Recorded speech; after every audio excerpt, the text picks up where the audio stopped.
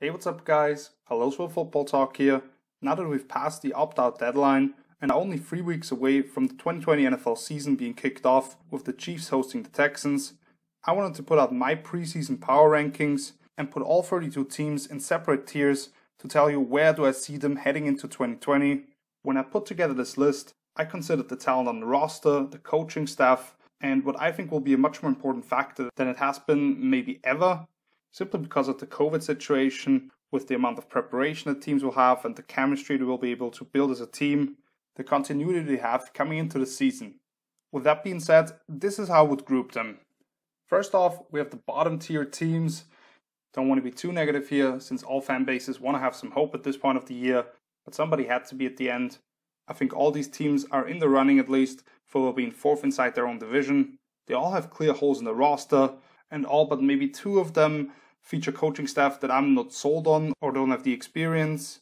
What I thought was very interesting about this, what all these teams had in common bad O line and secondary play, to go along with questions about who they have under center, obviously. And somebody had to be 32. For me, it's the New York Jets. It's been like three years since the Jets last found themselves here, since drafting Jamal Adams and Sam Darnold as cornerstones on either side of the ball, gave me some hope that they were able to turn it around but I just don't see them making any noise this upcoming season. They'll be without their top two players on defense now, with Jamal being traded to Seattle and CJ Mosley opting out for personal reasons, to go along with no proven edge rusher and a very underwhelming group of corners. And that was the promising unit actually for Gang Green last season, as they finished the top 10 in the yards allowed. When you go to the offensive side of the ball, the O line to me is still full of guys that have more question marks than answers. And as much as I like second round pick Denzel Mims out of Baylor, they don't have a lot of proven commodities at the receiver position. Now they basically replaced Robbie Anderson for Breshad Perriman. They pay a lot of money to Le'Veon Bell, who didn't have a single run of 20 plus yards last season. And while he has shown some signs, Darnold just hasn't developed the way I hoped he would, even though I have to put a lot of blame on the front office and the organization as a whole to go along with the coaching staff here.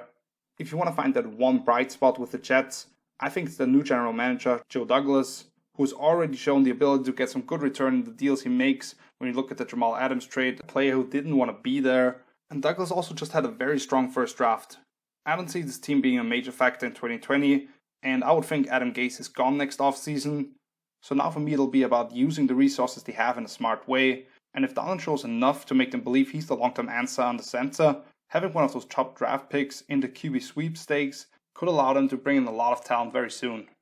Just ahead of them, I have the Carolina Panthers. And to me, that's a team that actually has a new promising leadership group and coaching staff, with former Baylor head coach Matt Rhule coming in and taking his defensive coordinator Phil Snow with him to go along with Joe Brady, the former LSU offensive coordinator who called the shots for the national championship team, and Chase Blackburn, actually a longtime special team standout for the Giants and now rising name in that area of the game. If you put all that together, I think the Panthers have built a foundation that can help them put together a winning program the issue here, I just don't know if they have the players for the quick turnaround yet. There's a lot to like when you look at the young receiver trio, the reigning leader in scrimmage yards in Christian McCaffrey, a lot of young talent on the defensive line, including top draft pick Derrick Brown, immediately upgrading the struggling run D, and range of players in the back seven. However, while I think the numbers at the end of the season will look pretty good, I believe Teddy Bridgewater limits the potential offensively since he just doesn't push the ball downfield in a way that threatens the defense I'm not fully sold on their offensive line yet, and there are a lot of questions about how Carolina will look like on the back end defensively themselves. If the Panthers had above average starters at quarterback, right guard, and at second corner spot, they would be in the hunt for wildcard berth. But Teddy Bridgewater, Dennis Daley, and probably Eli Apple just don't make me a believer. If they grab Trevor Lawrence and sign a top end offensive lineman next year, now we're talking. At number 30, the Jacksonville Jaguars. And according to Vegas, this is the team that is favored to earn the number one pick in the 2021 NFL draft. I personally have them two spots higher than that, and while there needs to be some change in the organization before I'm ready to buy into them as a team on the right track, I really like some of the young talent they have on the roster. Gardner Minshew had an excellent debut campaign, considering Jackson was ready to make Nick Foles the guy there. That receiving corp to me just doesn't get the love it deserves, with DJ Chark breaking out as a star last season, Dede Westbrook a guy that's capable of putting up big numbers every week. And now second round pick Laviska Shenault, tremendous upside with that guy as well. Running back Leonard Fournette to me gets better up at times, and he has a physical O line in front of him. Defensively, there are certainly some holes, especially when you look at that secondary. But you have Josh Allen and now K'Lavon Chaisson. That's a pair off the edge that can really put some fear in opposing offenses. Myles Jack, very athletic play on the second level. And I love the confidence that top draft pick CJ Henderson plays for them. A guy to replace Jalen Ramsey for them potentially a cornerback. To me, this just smells like a swan song season for Doug Marrone and company. But if Jacksonville puts together a competent new regime that can use the draft picks they acquired wisely and build a culture where stars actually want to be on board, they have a chance to turn this thing around rather quickly. This year, I think they'll be a fun watch, but not win a lot of games.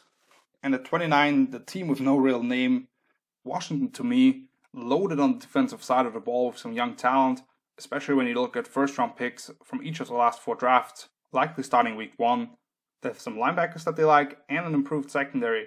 The offense, however, doesn't inspire much confidence when you look at the first round quarterback that was pretty disappointing as a rookie, a lack of proven pass catchers, the leading rusher from 2019 now entering his 14th season as a pro, and being tasked with replacing an all pro left tackle in Trent Williams. With that being said, I could see Washington being a much more complete team than people want to give them credit for, since I think they have at least one unit ready to compete right away and a lot of improvement offensively if only a couple of their players come through for them. Dwayne Haskins to me looked overweight and was pretty slow processing information on the field. Now he looks trimmed down a little and has had a full offseason of studying game tape to go along with new offensive coordinator Scott Turner, implementing a more suitable offense for his quarterback. At his disposal, he has a young star receiver in Terry McLaurin, some versatile backs, and outside of left tackle, a pretty underrated offensive line, I feel like. If they are at least close to average on offense, this team could be a pain in the ass just because they want to kick yours. Because they had to let Derrius Guice walk, I think that was the decisive factor between the two teams in the NFC East for me, since I have the New York Giants right ahead of them. And there's a huge drop off between these two teams and the two frontrunners in the NFC East with the Eagles and Cowboys. They'll come up quite a bit later.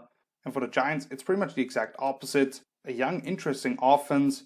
With Daniel Jones, he really surprised me as a rookie. I know he gets confused by some zone coverage looks, holds onto the ball too long at times with bodies around him, trying to knock the ball off his hands. And there were some up and down moments in year one, but he also showed me much more than I expected in big time throws, mobility, and just the potential he has.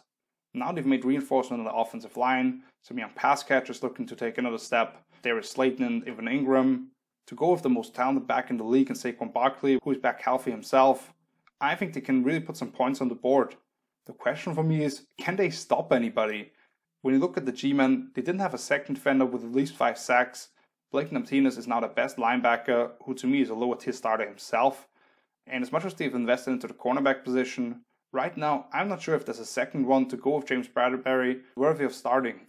So I expect the defense to be near the bottom in most of the major categories, but at least they should be able to put the ball in the paint themselves to some degree.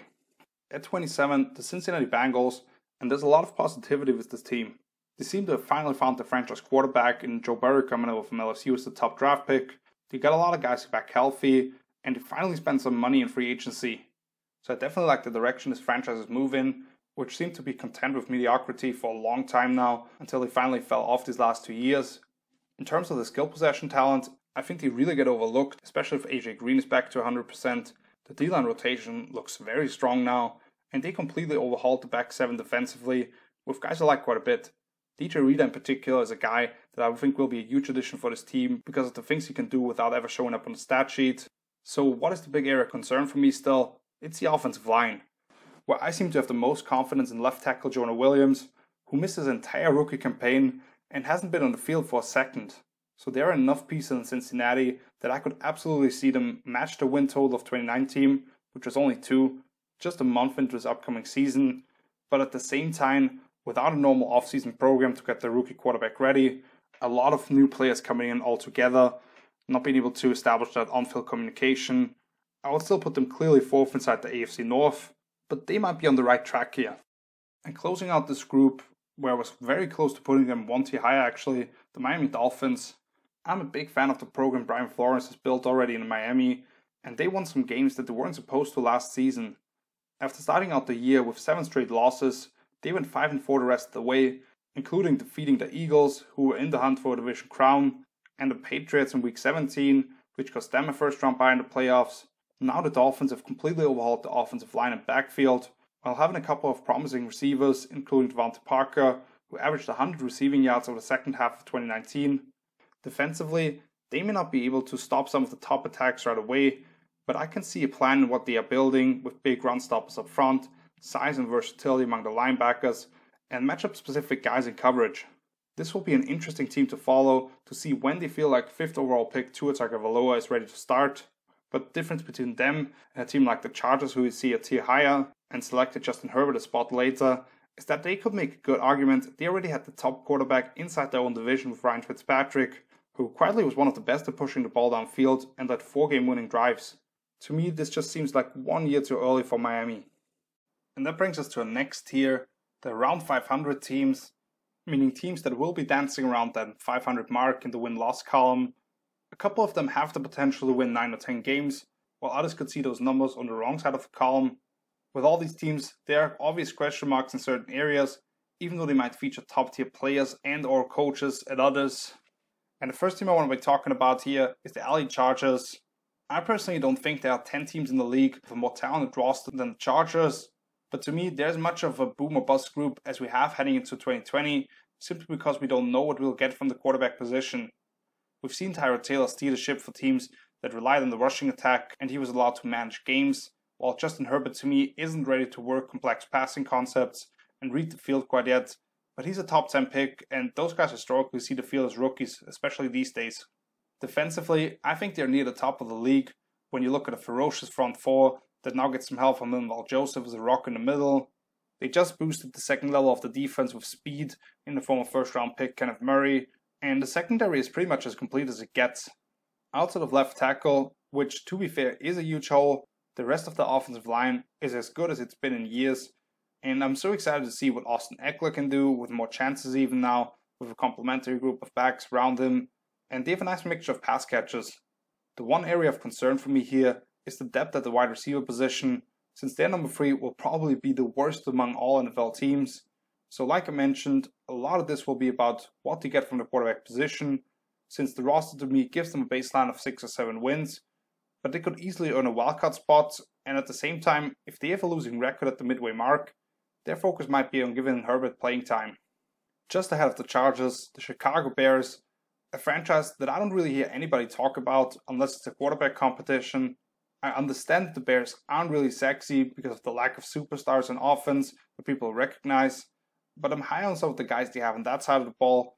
And on defense, they could be much closer to 2018 when they led the league in points allowed and turnovers forced, rather than being just inside the top 10 in most categories last season. A that I already predicted to break out for Chicago this upcoming season is running back David Montgomery, since he will see a much bigger workload probably to go with Anthony Miller, gadget player and young developing pass catcher, and one of the more underappreciated receivers in the game today, in Allen Robinson.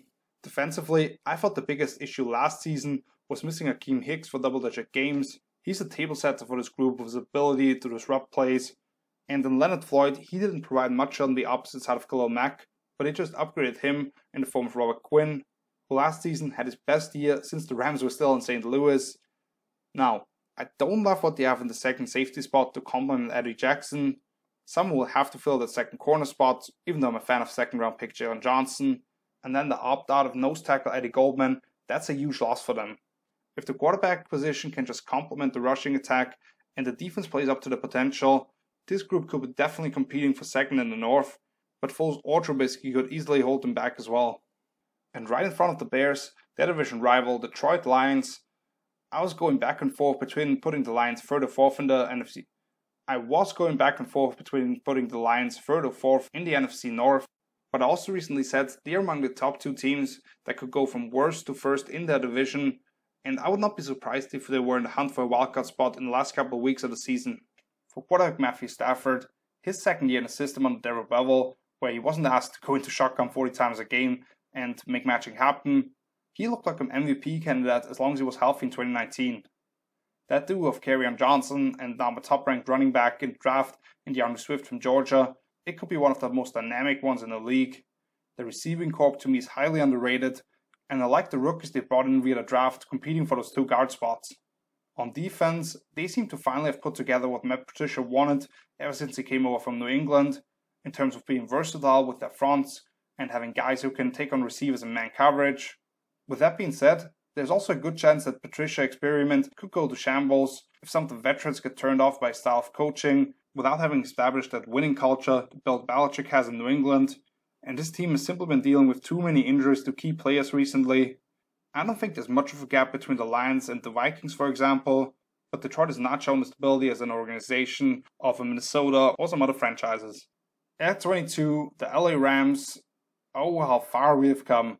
Just one and a half years ago, the Rams kind of were officially 20 spots higher when they lost the Super Bowl to New England as that second team in the NFL.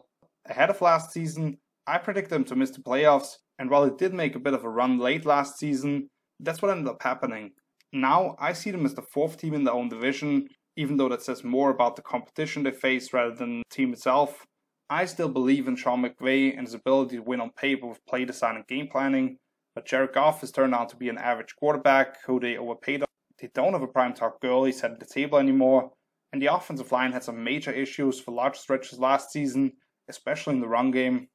I was very high on the second round pick out of Florida State, running back Cam Akers, but he's obviously a rookie with shortened preparation this offseason rather than an offensive play of the year like Gurley was for them. On defense, they have two elite players in Aaron Donald and Jalen Ramsey, and I like some of the other guys in the roles they have them, but overall, the high end talent beyond those two biggest names isn't overly impressive. Maybe the biggest offseason signing, Leonard Floyd, he's probably a top edge rusher at this point, and to me has always been more of a Robin himself. They have no proven commodity at stand up linebacker, now that they lost Cory Littleton in free agency, and I've yet to see if Brandon Staley can be an act and I've yet to see if Brandon Staley can actually be an upgrade over what Wade Phillip was for them as a defensive coordinator. Our new team from Vegas comes in at 21, the Raiders, to me, still a team that is in transition, not only with them moving, but also in terms of the roster construction, the culture Jon Gruden and Mike Mayock are trying to establish. You look at that group of receivers, outside of Tyrell Williams, they completely overhauled that group, have a lot of young pieces on the defensive line and secondary, plus they will have at least two new starters on the second level of the defense, which was the biggest area of improvement for me when I looked at them by far the biggest thing they have going for themselves is the offensive line and the second year back, Josh Jacobs running behind it. When I did my top 10 O line rankings a couple of weeks ago, I had the silver and black at number 5, and Jacobs was already a top 100 play in the league for me, just with how physical and elusive he is as a runner. I could easily see the Raiders finish near the top in terms of ground production, and also like some of the young guys they brought in around it, with Henry Ruggs from Alabama keeping the defense honest with his speed, Bryan Edwards from South Carolina, physical receiver who will get yards after the catch, and Lynn Bowden Jr. as that chess piece potentially that they can use in a multitude of ways. My bigger question here is actually if Derek Carr is willing to push the ball on the field.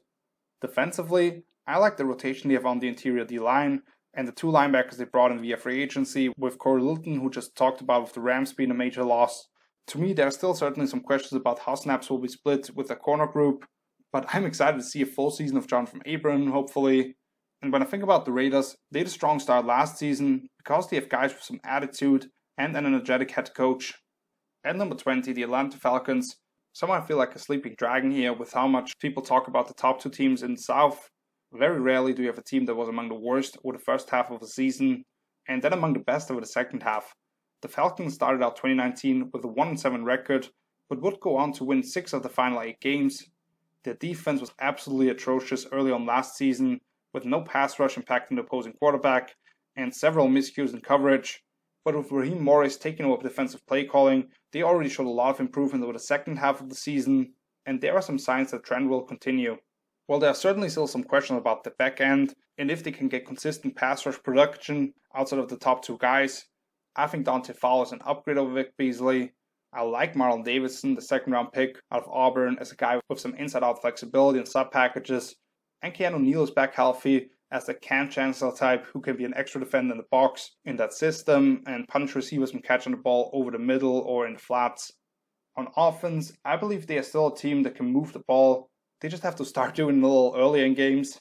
The top receiver duo in the NFL today, I think, is in their own division with Tampa Bay, but Julio Jones and Calvin Ridley, that could easily be the next one. They did lose a very productive tight end in Austin Hooper, but I believe Hayden Hurst, who they traded a second round pick for, can replace at least 80% of that production. And while we have no idea what we get from Todd Gurley and his knees at this point, last year the Falcons had one of the least effective per touch backs in Devonta Freeman. Plus, the offensive line should take a step forward with former first round pick Chris Lindstrom returning from injury. So we have positive signs, but Dan Quinn has to pick it up if he wants to keep his job. And the top team of this group, the Houston Texans, it's kind of tough to put a team here that has won its division the last two years, but I think the Texans are clearly number three in the South now.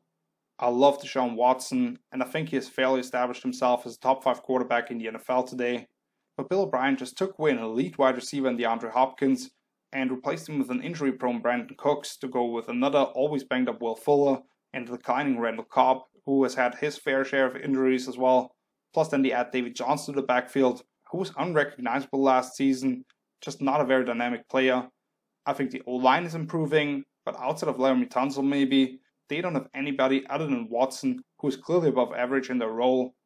And defensively, they finished in the bottom five in yards allowed, and they tied Cincinnati, who had the first overall pick in the draft, for an NFL high 6.1 yards per play. Hopefully, having JJ Watt back for a full season should help.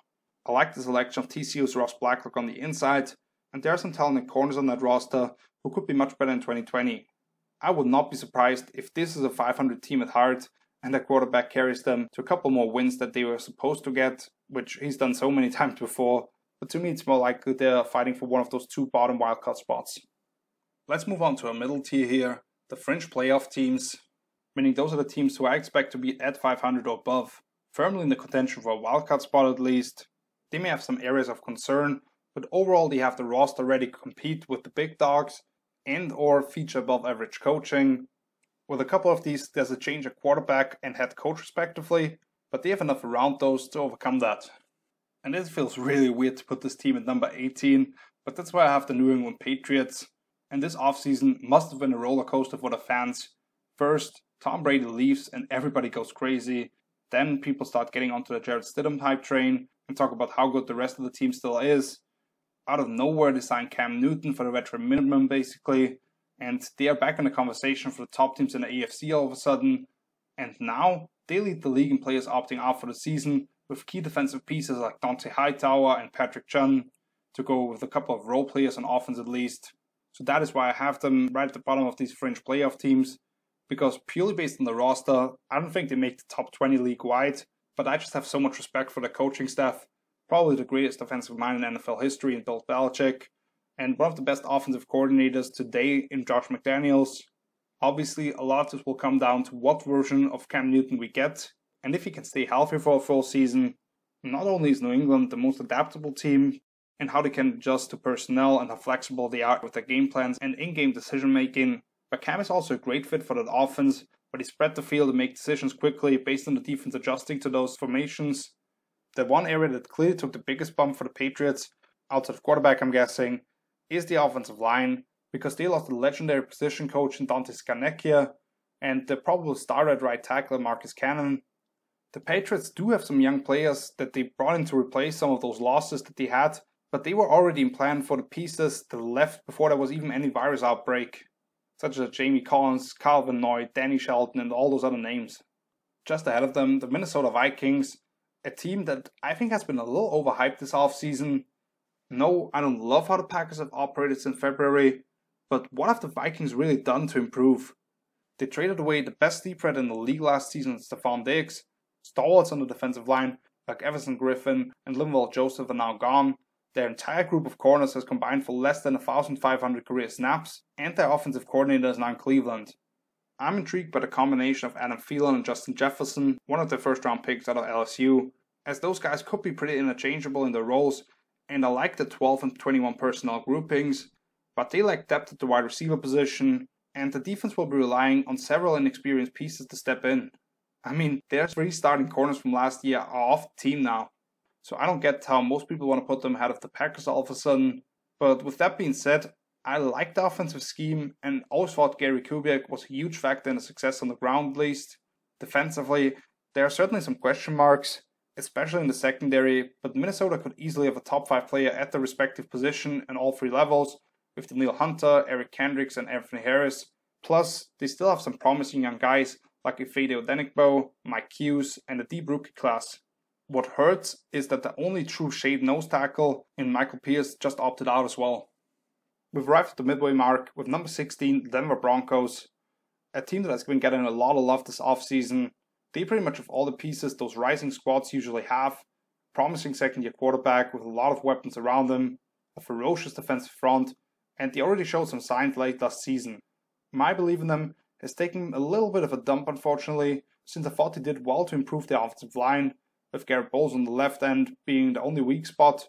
But now that Ja'Wuan James won't be available at right tackle for the second straight year, with an injury last season and now opting out, their two of offensive tackles is definitely a concern for me. On defense, you have to love what they have in the front seven, with Von Miller and now again Bradley Chubb coming off the edges, Jurrell Casey being added to the interior to go along with Shelby Harris, and Alexander Johnson being the guy who quietly has been a very good player at linebacker for them. I've always been a big fan of Justin Simmons as well, but the second corner spot is still up in the air for me. I like Vic Fangio and that coaching staff they've put together in Denver, with Pat Shurmur providing a QB friendly offense, the game's best offensive line coach Mike Munchak, and most of the people that have helped Fangio put out elite defense at multiple stops before this. So the Broncos, to me, still the most dangerous opponent of the Chiefs in the AFC West, but now I'm not sure if they can add some drama with the fourth quarter of the season. Another very intriguing team comes in at number 15, the Arizona Cardinals. There are certainly some issues here still, but Arizona probably has the most exciting young team in the NFL. Kyler Murray was a one man show last season, and he's due for a big jump, with DeAndre Hopkins being added to a receiver corps that desperately lacked defendable targets last season to go from other youngsters now back fully healthy. Kenyan Drake, he's a guy who looked like a different player once he came over from Miami, and the O line should at least be marginally better. Defensively, they've transitioned a little bit up front with those big gap blocking guys on the line, and then Isaiah Simmons being that ultra rangy player on the second level who can run guys down on the edges if those ball carriers are forced to bounce outside. Plus, they have maybe the most underappreciated edge rusher over the last four years in Chandler Jones. I don't think they're very deep in the secondary, but Budda Baker to me is an absolute baller. Jalen Thompson really emerged for them late last season, and I already predicted corner Byron Murphy to be one of those breakout guys in the second season. You look at Arizona with Cliff Kingsbury and Vance Joseph, they have some very creative play calling on either side of the ball, and not have the personnel to execute it at the level that is needed. Like I already mentioned, I was ready to at least have the Cardinals go toe to toe with Seattle for a playoff spot, but the addition of Jamal Adams for the Seahawks has shifted the balance again to some degree. And if you just go based off my ranking, as you can see, I have two NFC wildcard spots already going to teams from 5 to 7. This kind of seems to be the segment of young promising teams, as at number 14 we have the Cleveland Browns. And I don't see them competing for the AFC North really, just because of how loaded the Ravens are. But this team pretty clearly is the most talented team that is mostly considered to be third in their own division. When you look at the group of starting skill position players, at least, they are near the top 5 in the NFL. The O line already made my top 10 rankings with room to move up. And if healthy, they should at least be in the conversation for that with the D line as well, with the defensive player of the year candidate in Myles Garrett. And I like how they have assembled the secondary as well. With that being said, they have some unproven players at the linebacker level and Cleveland's potential is largely dependent on which Baker Mayfield will get. But with Kevin Stefanski coming in and installing an offense that will be built on the zone run game, with Nick Chubb being the best player last season anyway, and bootlegs off that, where his quarterback is put on the move, I could see much more confidence in that system and efficient play as a result.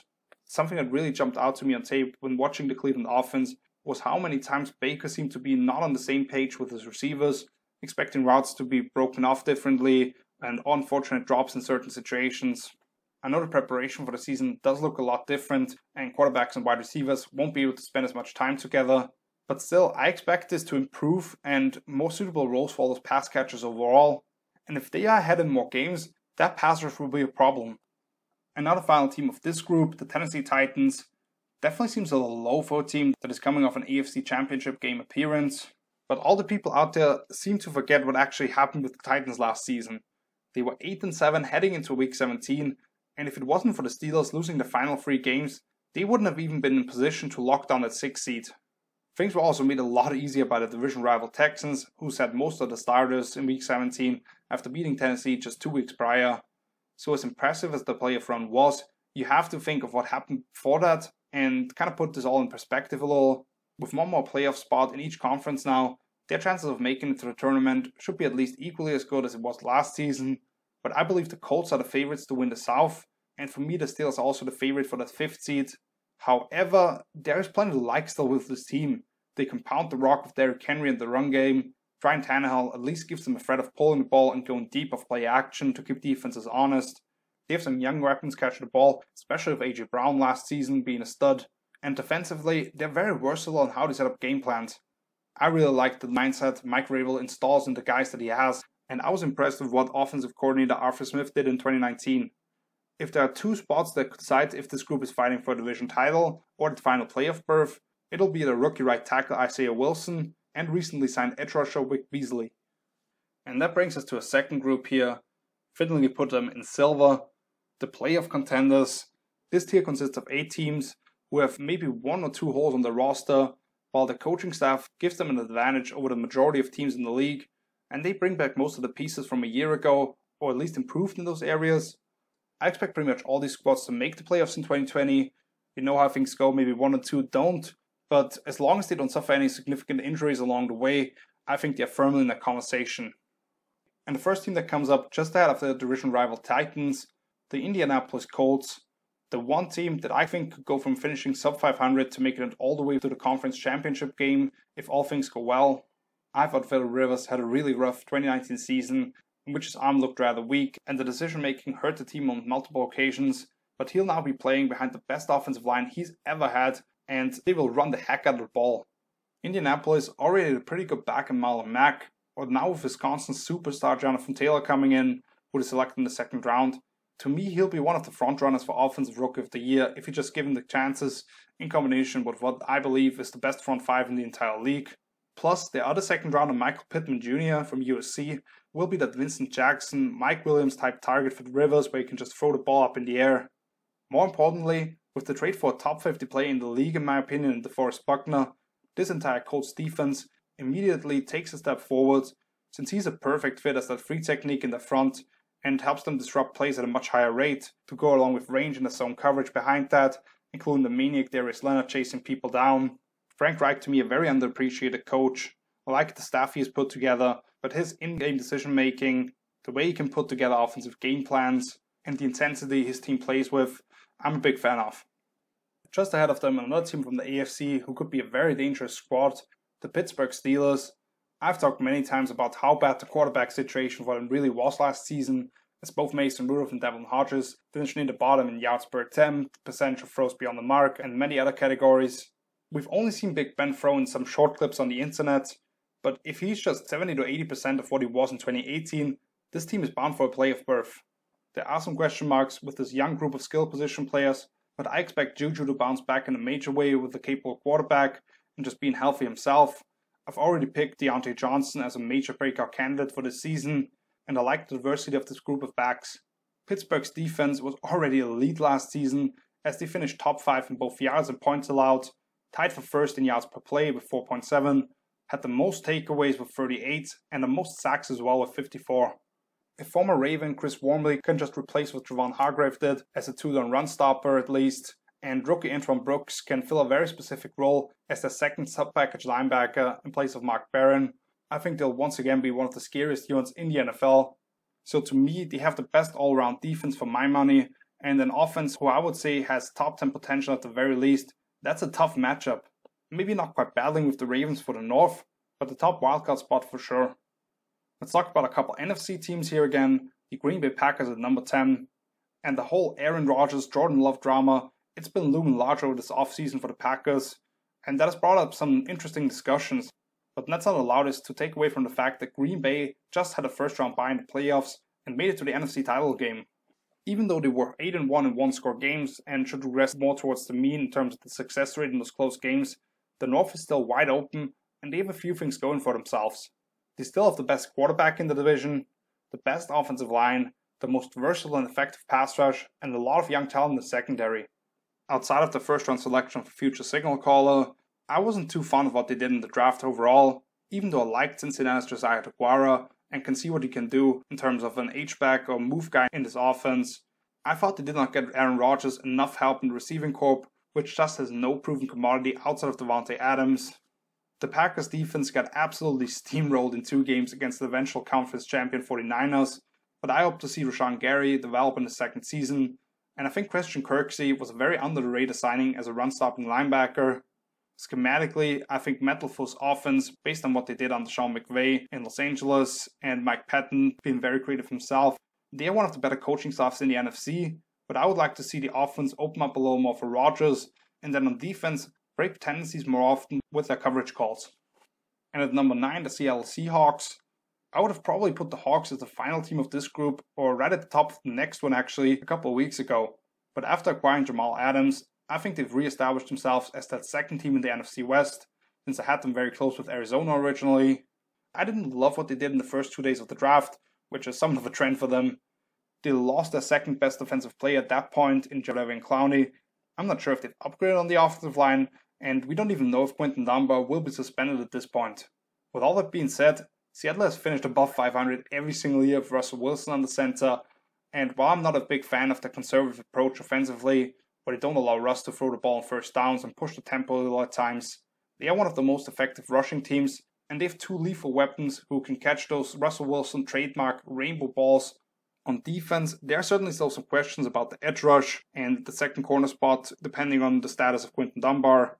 But Pete Carroll at least has what he most wants from any position on that team competition. And you already saw them go to more two high looks in coverage that we are used to, telling me they'll utilize Jamal's versatile skill set more than just what they did with that strong safety in the Seattle system. Another AFC team that I like a lot, the Buffalo Bills. And for the first time in about 20 years, a team not named the Patriots will enter the season as favorites in the AFC East, and it's actually not that close for me.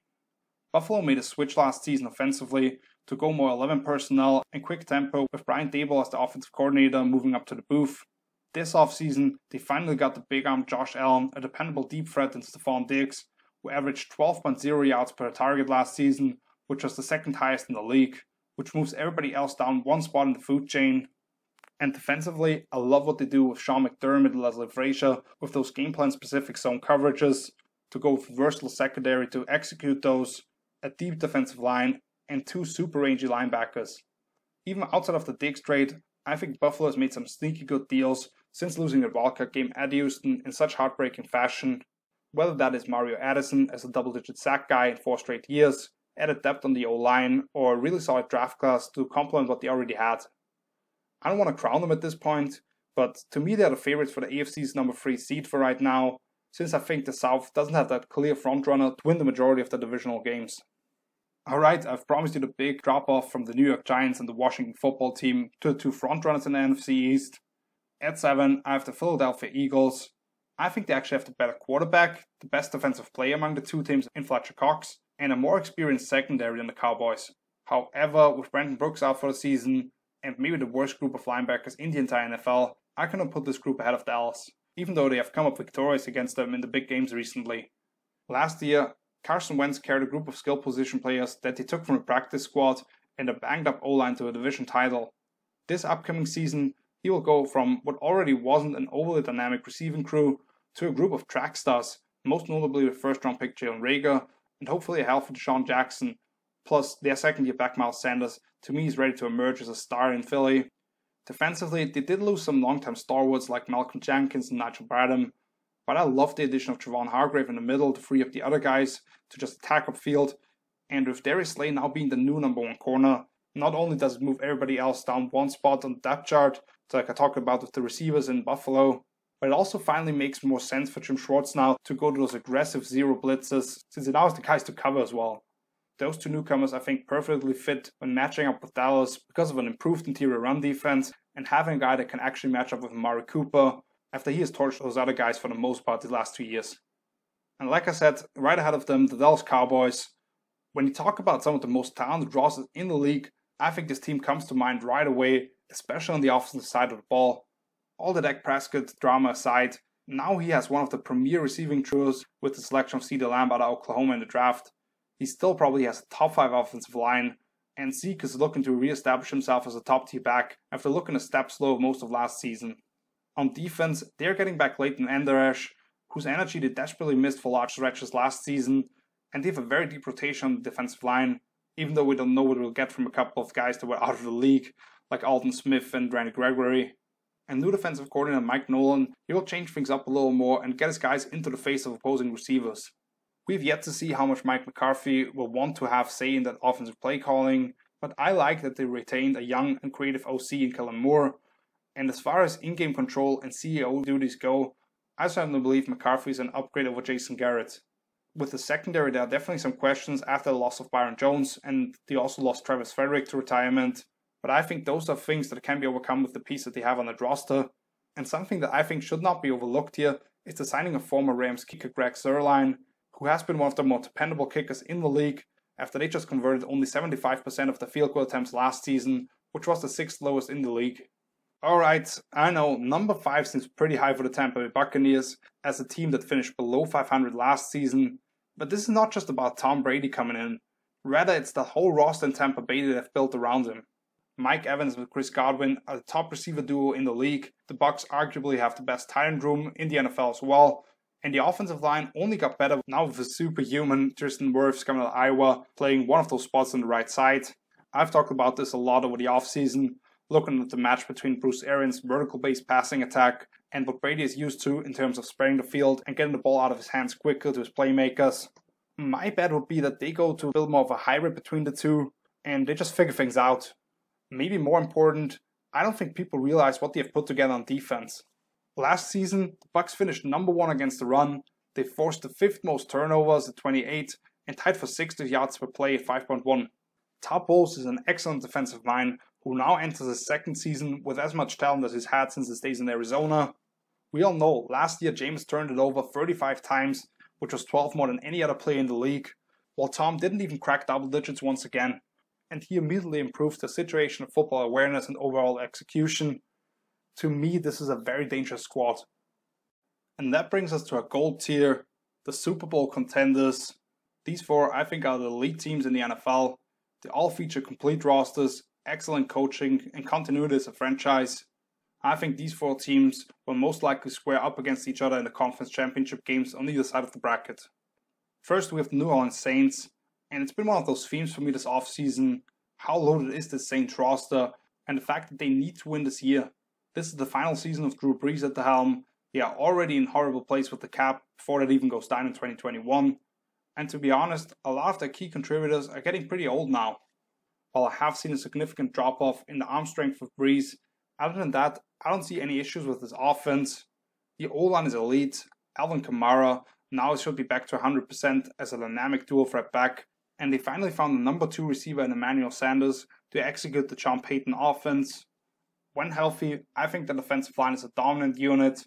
I also believe third round pick Zach Brown from Wisconsin gives that linebacker group some versatility, and they have a lot of experience in the secondary, including a guy that I thought would be a future star on the outside in Marshon Lattimore. Before they do anything else, they need to take care of a division rival Tampa Bay, which is a very tough challenge already. But if they can do that, they're fairly in the hunt for the NFC's top seed. I believe there's a lot of pressure on this group, because of the cap situation, their all time great quarterback having his version of the last dance, and just brutal playoff losses in recent years. But at the same time, they have all it takes to finally break through all the way. At number 3, to me still the top team in the NFC, the San Francisco 49ers. Obviously, that Super Bowl hangover, it'll be brought up a lot of the loser of that team.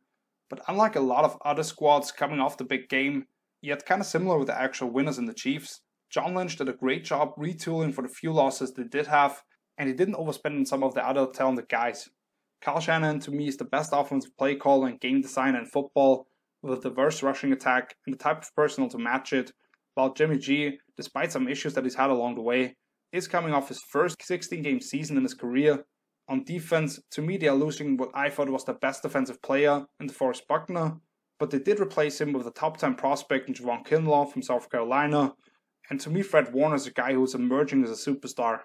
That Seattle based system under defensive coordinator Robert Saleh may not be very complex, but the Niners do have a ferocious pass rush, fast flowing linebackers, and a great safety tandem that allow them to be very sound in their execution and put pressure on the opposing offense, similar to what the Legion of Boom did back in the day.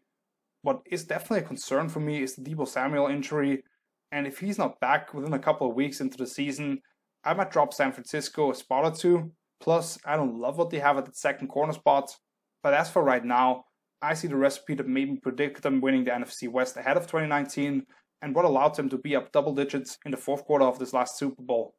And as you can tell, the top two teams both coming from the AFC.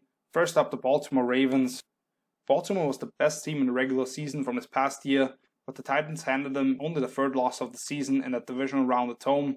They did lose what to me is a first ball Hall of Famer in Gal Marshal Yanda, but outside of that, to me the Ravens have an even better roster. The reigning MVP Lamar Jackson is only entering his third year in the league and can still get better with his deep ball, for example. The Ravens just added a top prospect in J.K. Dobbins from Ohio State to a backfield that already set the league record in rushing yards, and some of the young receivers they have will continue to develop. Defensively, they addressed the two biggest areas of improvement, in my opinion, bringing in Calais Campbell to boost their pass rush, and two guys who were top six linebackers on my board in the draft, Patrick Queen from LSU and Malik Harrison from Ohio State. They may not have as many superstar names outside of Lamar as some other teams do, but without a full offseason to prepare for it, that Greg Roman offense could be even tougher to stop if Marquise Brown becomes a more dependable deep threat now that he's fully healthy himself. And I love how multiple and diverse defensive coordinator Wink Martindale is with his defense, combining all those different pressure looks with more versatile pieces up front and one of the elite secondaries in the game. You add to that a rising young special teams coordinator in Chris Horton and a great motivator and in-game decision maker in John Harbaugh. I just can't find a lot of else on their schedule. And still, the top team in the league, the Kansas City Chiefs, we've heard this many, many times over the course of the offseason. The reigning Super Bowl champs bring back 20 of 22 stars in offense and defense combined. It's actually 19 now that Laurent Duvernay Tardif has decided to opt out. But they have the best play in the league, the most dangerous receiving corps, above average O line play, and what I believe is still an improving defense that just added some much needed speed at the second level. So at this point, I just can't unseat them former LSU running back Clyde Edwards-Helaire, to me will be a star in that offense. They get a couple of guys back that they missed during the playoff run on the O line and then the secondary with Juan Thornhill. And there are plenty of young developing players on that roster still. What general manager Brett Veach has done this offseason in terms of securing Patrick Mahomes for the next decade and still opening up cap room to also sign the best defensive player in Chris Jones is amazing to me. When you look at Kansas City, the only two concerns I really have are a lack of depth in the secondary and the fact that they will have to go on the road when they face the best four teams on the schedule Baltimore, Buffalo, Tampa Bay, and New Orleans, which has me favoring the Ravens as the number one seed in the AFC, and which this year means having one more game in the playoffs on the road to another Super Bowl for Andy Reid's troops. But they've not done anything to make me believe they should drop from number one. Let's give you another quick look through these teams here. Like I said, the four Super Bowl contenders, eight more teams that probably make up for at least 10 of the playoff spots, in my opinion. A few fringe playoff teams, where two or three probably make it as well to the playoffs. There's around 500 teams. I would not be surprised if one of them emerges. And then the bottom tier, to me, I believe five of those seven teams will definitely pick in the top five in the 2021 draft. But that is it. Thank you so much for watching. If you enjoyed this video, please leave a like, subscribe to the channel, just share it with one friend who loves football the way you do. You can check out more of my breakdowns here on the YouTube channel or on my page, halilsrealfootballtalk.com. Next week, I hope to finally put out some fantasy content with players that I like better than the current ADPs. So until then, see you later. Peace.